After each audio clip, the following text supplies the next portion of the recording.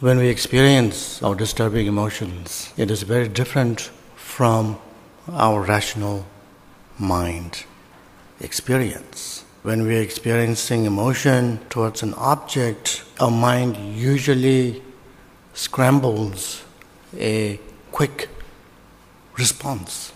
Everything happens so fast that sometimes we don't actually realize what we have actually said or done. Even if they tell us what's happening, we still cannot hear. No, I didn't do this or I didn't say that.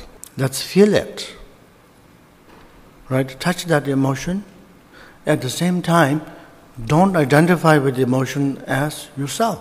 Because if you cannot feel this sense of uh, gap or space, then we can get really overwhelmed with our emotions. Mindful gap creates this sense of like a bumper and a sign like your mind coming up soon.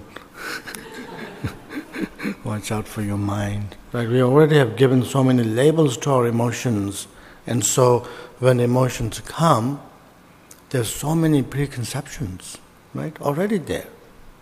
And there's so many prefabricated habits.